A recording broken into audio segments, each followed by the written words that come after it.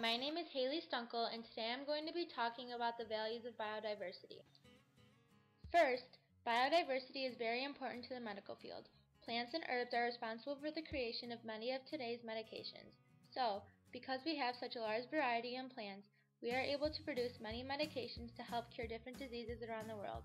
Painkillers like Advil, ibuprofen, and headache relief, and antibiotics like penicillin are some of the most common medications created from plants. Chemicals from wild plants are commonly used to treat depression and cancer. Scientists, pharmacists, and consumers have to be cautious of the prescription and usage of these medications so that antibiotic resistance is not formed and the disease can actually be cured by the medications. Antibiotic resistance happens when bacteria becomes used to a certain antibiotic and the bacteria are no longer affected by the medication. This causes the bacteria to rapidly grow.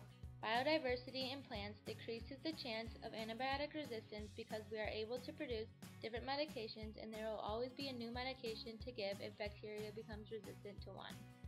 Next, biodiversity provides us with food and energy. Because of biodiversity, animals and humans have a large diet. We have multiple sources for food which lowers competition levels between species since there is enough food for everyone to consume. This helps species stay alive and reduces the threat for endangerment. We are also able to get a well-balanced diet full of all of our macromolecules, carbohydrates, proteins, lipids, and nucleic acids because we have a larger range of food and choices of what is consumed. These macromolecules provide us with energy, store our energy, regulate our cells, and transmit DNA.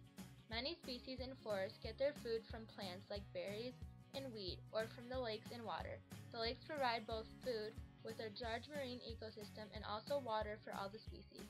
Biodiversity has helped maintain soil, water, and air quality because of more oxygen from plants and animals.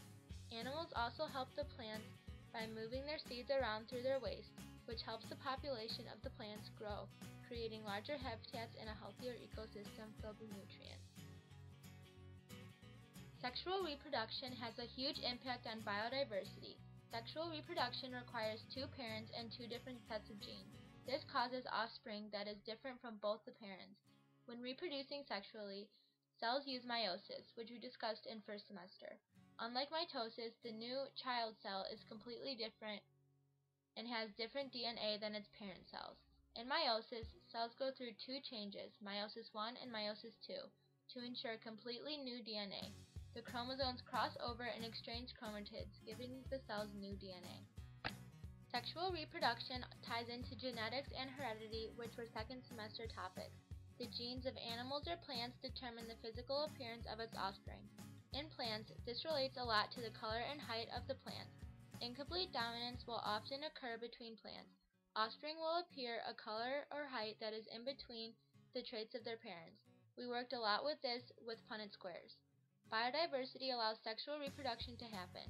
If we didn't have biodiversity, all species of plants, animals, and living things would look the same, and all cells would only go through mitosis. There would be no change in anything and life would be completely different. All humans would look and act exactly the same and life would be much more boring. Sexual reproduction helps species survive because it allows us to reproduce. The goals of living things is to survive and to reproduce, and sexual reproduction helps settle one of our major two needs. Sexual reproduction is what keeps species constant and what keeps us from dying out. Lastly, there are layers of plants in forests for different reasons. Biodiversity causes all the plants to adapt to each other's living conditions. This creates a more purposeful, productive ecosystem. Since all the plants are trying to fit into the small forest floor, the plants work together creating levels of vegetation. The weeds and plants on the forest floor have adapted to survive without lots of sunlight because the large tops of the trees above block their sunlight. Each layer of plants has special functions.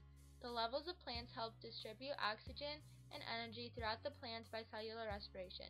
This helps keep species alive because it provides species with more vegetation. Trees provide shades to animals and humans in the hot summers which helps us survive in the hot months. The plants have evolved over the years and have become much larger and more complex. The first plants were only small plants in bushes and stayed on the ground. Plants have evolved to grow into tall, luscious trees. The trunks of trees have grown thicker to support the tall heights. This proves that plants and trees are able to survive and are compatible species that will be around forever. As you can see, biodiversity is greatly valued in our world today. It provides us with medication, food and energy, sexual reproduction and differences in species, and a better, more productive ecosystem. Thanks for listening.